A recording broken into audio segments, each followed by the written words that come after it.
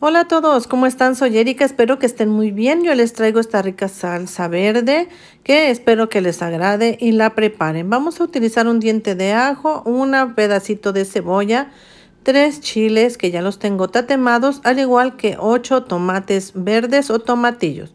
También le voy a agregar unas ramas de cilantro.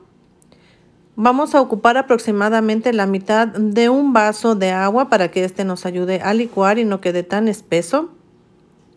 Le vamos a agregar sal y lo vamos a llevar a licuar. En esta licuadora me da eh, la opción de ir moliendo de poco en poco y así poder saber yo cuánto es lo que yo quiero de espeso.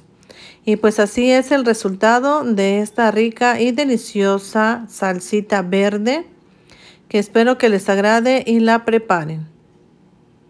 En este momento yo estoy haciendo unas ricas gorditas de migajas, así que esta va a ser su acompañamiento. Espero que les agrade, la preparen y me manden su receta a cualquiera de mis redes sociales. Y no olviden suscribirse que es completamente gratis. También activar la campanita para que les llegue notificación de cuando suba algún video. Dejarme alguno de sus comentarios, qué es lo que les parece en las recetas y qué les gustaría ver.